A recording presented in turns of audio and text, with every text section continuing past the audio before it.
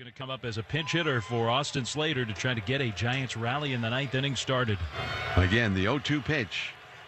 Swing, and a ball hit into right center field deep, way back there. And adios! Pelota! What Gabe Kapler was hoping for has happened.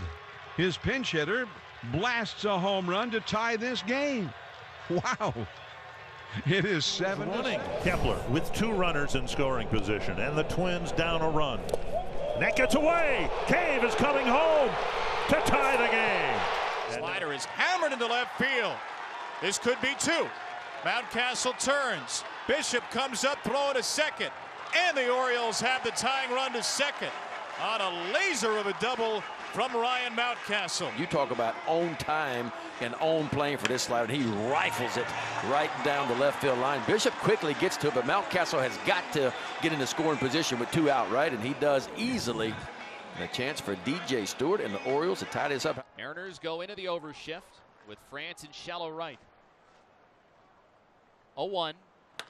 There's a swing and a ground ball through the left side base hit. Mountcastle waved around third. Bishop comes up throwing to the plate. Save! Mountcastle beats it.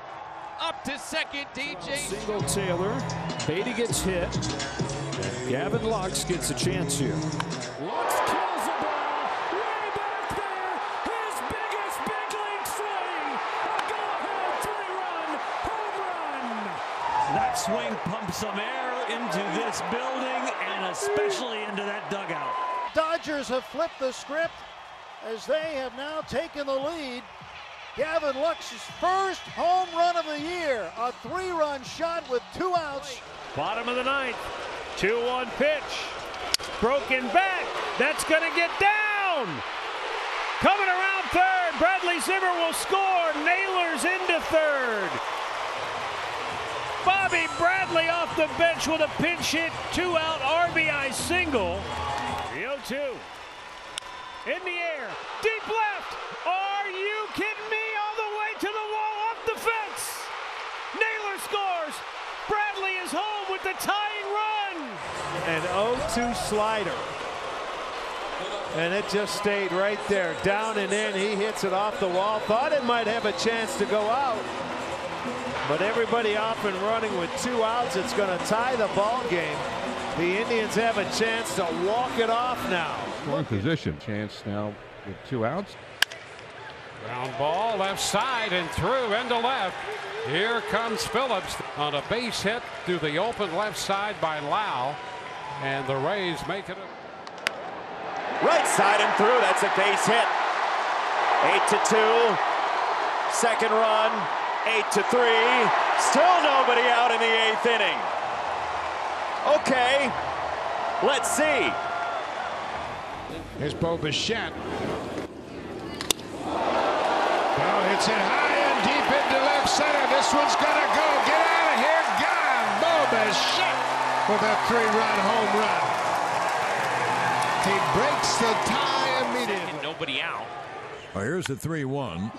Swung on and hit in the air to deep right. It is high. It is far. It is gone. It's a three-run home run to deep right, right inside the pole by Rougie Odor.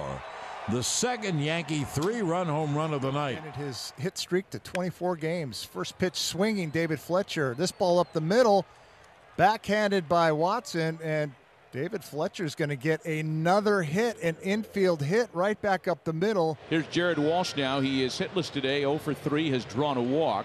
Here's the next delivery, and Walsh swings and lines one into right. That's going to drop in for a base hit. The Angels are going to score a run on that one, as coming in is Fletcher from second.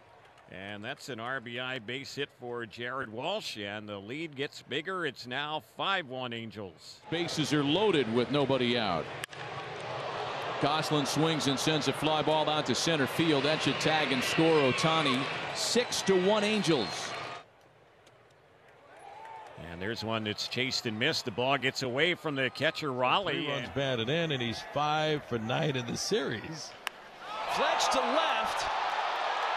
Is back. Off the wall. Two runs will score. Lagares scores. Mayfield behind him. David Fletcher, ladies and gentlemen. And the 1 1 on the way. Swung on and blooped into left. That'll be a base hit. Chapman has scored. Brown to third. They're going to hold him there. And the A's take a 3 to 1 lead. Laureano just kind of fights it off and dunks it into left field over the head of the shortstop Crawford. The bases remain loaded. Everybody moved up 90 feet. And the A's lead 3 1 in the eighth. So here's Olson and just one out. Bases loaded, three to one. The pitch to Matt is swung on and drilled to right-hander going back. He's there. He makes the catch that'll score the run. Brown tags to score on the sac fly, and going from second to third is Kent.